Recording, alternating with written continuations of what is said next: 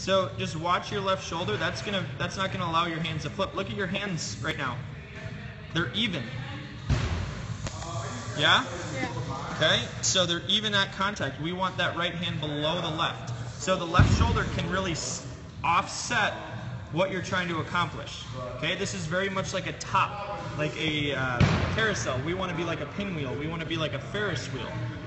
Okay? So front toss and T work were really good, but as soon as I went overhand, that left shoulder pulled where you need to tilt it. That's what allows them to flip. I mean, really obvious right here, right? Yeah.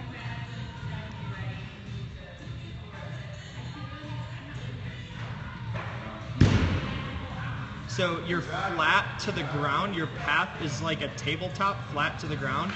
We we the ground has nothing to do with anything. The the ball is coming on a downward path, so that's why we flip. So our barrel will have a slight upswing that matches the path of the ball. This is a better one.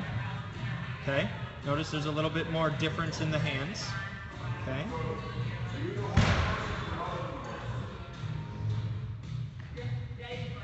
Last two were better. Notice how the barrel, look at how it's below your hands, behind you. That's that's good because now it can be on an upward path through the ball. These last two have been pretty good. It's better. It's better. A little turny, a little bit like a top, but it's the right idea. That one was really turny. Left shoulder disappeared right So we should think second baseman's feet straight back with our shoulder. Our shoulders tilt, they don't turn.